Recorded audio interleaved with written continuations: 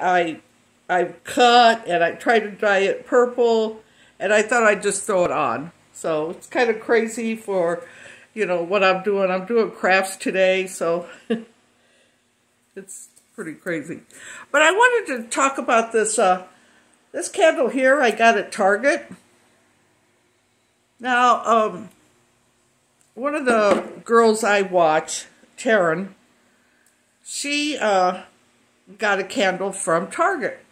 And she was just saying how great it smelled and everything. It was a three prong, three or four prong, uh, you know, candle. So it was a bigger one. And I think it was called Salt. I'm not 100% sure. But I, I was at Target and I didn't really see them. So I seen these. The one she bought was $20. This was $6, I think, for this size. Now this is caramel latte.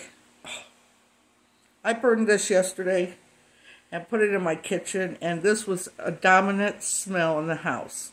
I bought another one called Pumpkin in the Woods. Pumpkins in the Woods, something like that. And it has like a pine scent to it, uh, more earthy.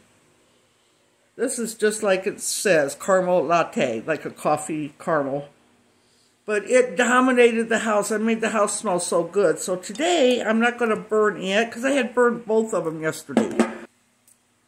Talk to you later, alligator. Bye.